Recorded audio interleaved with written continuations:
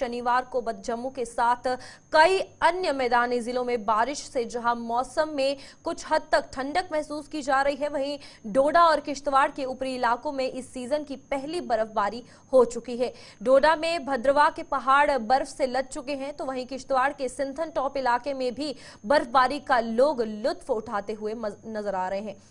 तो आप तस्वीरें ये सामने देख सकते हैं कि कल जहाँ जम्मू में देर शाम तेज बारिश देखने को मिली तो वहीं पर आपको बता दें कि पर्वतीय इलाके यानी किश्तवाड़ और डोडा संभाग की अगर कश्मीर की भी बात की जाए तो वहाँ पर पहाड़ों पर बर्फ़ देखने को मिली है। खूबसूरत तस्वीरें आप देख सकते हैं सामने।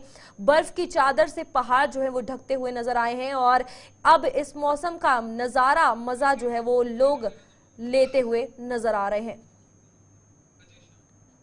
चलिए इसी पर अधिक जानकारी लेंगे। हमारे साथ हमारे संवाददाता अजय शान जुड़ चुके हैं और विकास भी हमारे साथ डोडा से जुड़े हुए हैं। अजय, बताइएगा फ़िलहाल मौसम में जो तब्दीली आई है, कितनी राहत लोगों को मिली है और किस तरीके का मज़ा अब लोग इस बर्फ़ का लेते हुए नज़र आ रहे हैं? रूपाली, देखिए, एक लंबे ड्राई स्पेल के बाद बेशक हल्की बौछारें ही मैदानी इलाकों में पड़ी हैं, लेकिन ऊपरी इलाकों में, जैसे आपने कहा कि सफ़ेद चादर बर्फ़ की जो है, बिछना शुरू हो गई है। हालाँकि अभी उतनी राहत जमींदारों को नहीं मिली है क्योंकि फ़सलों को नुकसान ज़रूर पहुँचा है, जो ड्राई स्पेल चल रहा था। लेकिन जो खुश्की चल रही थी, जिस वजह से कुछ मौसमी बीमारियाँ लोगों को देखने को मिल रही थी, नजला जुकाम जैसी भीड़ काफ़ी अस्पतालों में भी थी, लेकिन उससे थोड़ी राहत ज़रूर मिली है। कल शाम से ही मैदानी निचले इलाके जो है टाउन के इलाके थे वहाँ हल्की हल्की बारिश हो रही थी। लेकिन ऊपरी इलाकों में चाहे सिंथन की बात करें या मड़वा के दूसरे ऊपरी इलाकों में बात करें या किश्तवाड़ के आसपास जितनी भी ऊंचाई वाली चोटियाँ हैं वहाँ पर हल्की हिमपात ज़रूर हुआ है। लेकिन उतनी राहत अभी नहीं मिली है कि जो किसान हो खासकर क्योंकि केसर की फ़सल भी आने वाली है और जो फ़सलें बीजी गई थी वो भी अच्छा रिज़ल्ट इस बार नहीं आया है असली फ़सल नहीं आई है। तो कहीं ना कहीं किसानों के चेहरे अभी भी उतरे हुए हैं लेकिन उम्मीद ये जताई जा रही है कि आने वाले दिनों में फिर जो बुछारें होंगी उससे लोगों को राहत ज़रूर नसीब हो बिल्कुल डोडा से अगर बात की जाए विकास भी हमारे साथ जुड़े हुए विकास वहाँ पर क्या कुछ हाल है? क्योंकि गर्मी जो है कुछ ज़्यादा देखने को मिल रही थी। अब राहत जो है लोगों को मिली ज़रूर है इस बारिश और बर्फ़ के कारण। भद्रवा में जिस तरह जाना जा पिछले साल नंबर अक्टूबर महीने में जो है बर्फबारी हुई थी और इस बार जो है अक्टूबर की फ़र्स्ट फ़र्स्ट सेशन यानी यहाँ पर बर्फबारी हुई है और ये पहाड़ी एरिया में और इसके बाद जो है यहाँ पर काफ़ी सारे जितने भी टूरिस्ट हैं वो घूमने फिरने आते हैं और पिछले बार की तरह इस बार भी आंकड़ा टूटने वाला है, क्योंकि पाँच लाख से ज़्यादा यहाँ पर टूरिस्ट घूमने आए थे। अगर ये और ज़्यादा बर्फबारी हो जाती है यानी गुलडंडा वाली साइड यानी भद्रवाज जाई वेली ये तमाम जगहों पर होती है तो उसके बाद और ज़्यादा टूरिस्ट यहाँ घूमने आते हैं और साथ में काफ़ी आनंद भी लेते हैं। बिल्कुल, अजय, आपसे पूछना चाहूँगी, क्योंकि मौसम में अगर इस बार बात की जाए, गर्मी भी काफ़ी ज़्यादा देखने को मिली है। तो यही अनुमान लगाया जा रहा है कि सर्दी जो है, वो कड़ाके की देखने को मिलेगी।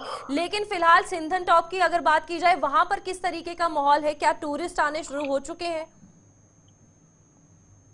ये अक्सर देखा जाता है, जब भी ज़्यादा बर्फबारी होती है तो सर्दियों का जो प्रकोप होता है, ज़्यादा होता है।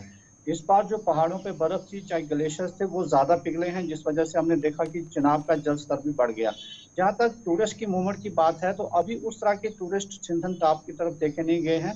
किश्तवाड़ की तरफ़ से तो ज़्यादा नहीं गए हैं, लेकिन जो कोकरनाग और अनंतनाग की तरफ़ से वहाँ वैली में टूरिस्ट आते हैं, उनकी मूवमेंट ज़रूर वहाँ पर बढ़ी है, जिस वजह से वहाँ पर धंधा भी बढ़ा है। कुछ लोगों ने अपने वहाँ पर रेडियाँ लगाई हैं, कुछ गाड़ियों पे खाने पीने की सामान लेके आ रहे हैं। लेकिन जिस कदर वहाँ बढ़ना चाहिए था अभी उस तरह की भीड़ वहाँ पर नहीं देखने को ठीक है अजय क्या कुछ लगता है आने वाले दिनों में और बर्फबारी जो है वो देखने को मिल सकती है? क्योंकि अभी हल्की फुल्की बर्फबारी ऊपरी क्षेत्रों में हुई है और जम्मू में भी मौसम के हवाले से बात की जाए तो यहाँ गर्मी के बाद थोड़ी राहत मिली है। जी, बिल्कुल जैसे मैंने कहा कि जो ऊपरी इलाके हैं, जो सिंथा टॉप है, ग्यारह हज़ार फुट से भी ऊपर की ऊंचाई पर स्थित है। तो इन टॉप पर जो भी चोटियाँ हैं, यहाँ पर अगर मैदानी इलाकों में हल्की सी बारिश होती है तो वहाँ पर बर्फ़ गिरना तय है।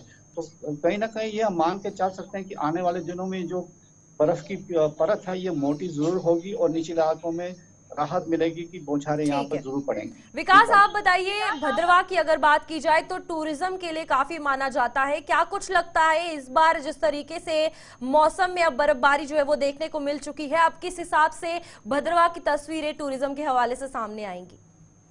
क्या जिस तरह डिस्ट्रिक्ट एडमिनिस्ट्रेशन हो या फिर बीडीए भद्रवा हो, लगातार यहाँ पर फेस्टिवल भी करवा रहे हैं और साथ में जैसे कि कोई स्नो फेस्टिवल यानी यहाँ पर ज़्यादा बर्फबारी हो जाती है तो उसके बाद जितने भी टूरिस्ट हैं, वो तमाम इंडिया या बाहर यानी अलग अलग देशों से यहाँ पर पहुँचते हैं और काफ़ी आनंद भी लेते हैं। और ऐसे में चाहे फिर शिवधार वाला एरिया हो, कैलाश कुंड वाला एरिया हो, क्योंकि यहाँ पर जैसी बारिश वगैरह होती है, उसके साथ में बर्फबारी स्टार्ट हो जाती है और ये जैसी बर्फबारी अगर भद्रवा शेर को छूती है उसके बाद तमाम टूरिस्ट जो है इस ओर रवाना हो जाते हैं क्योंकि गर्मियों के दिनों में भी यहाँ पर देखने को मिलता है। लेकिन सर्दियों में और ज़्यादा रश होता है जिसका काफ़ी लोग जो है आनंद भी लेते हैं और काफ़ी सारी जगहें जहाँ घूमने के चाहे गुलडंडा हो पतरी हो या जायवेली हो। बिल्कुल विकास आखिरी सवाल रहेगा किस हवाले से किसानों की अगर बात की जाए फ़िलहाल वहाँ फ़सल को लेकर क्या कुछ है? जिस तरीके से अजय ने कहा कि काफ़ी ज़्यादा मुसीबतें किसानों को देखनी पड़ रही हैं इसके कारण। जी हाँ काफ़ी लंबे समय से बारिश या बर्फबारी जो है इस एरिया में नहीं हुई है तो लगातार यहाँ के जो किसान है, वो भी उम्मीद करते हैं कम से कम इस तरह से बारिश हो और ताकि वो आने वाले समय में फ़सल वगैरह लगाए, ताकि उनकी खेती बाड़ी अच्छे से हो, क्योंकि नब्बे परसेंट से ज़्यादा आबादी जो है बिल्कुल इसी पे डिपेंड है और पहाड़ वाला एरिया है, तमाम लोग जो है गाँव में रहते हैं।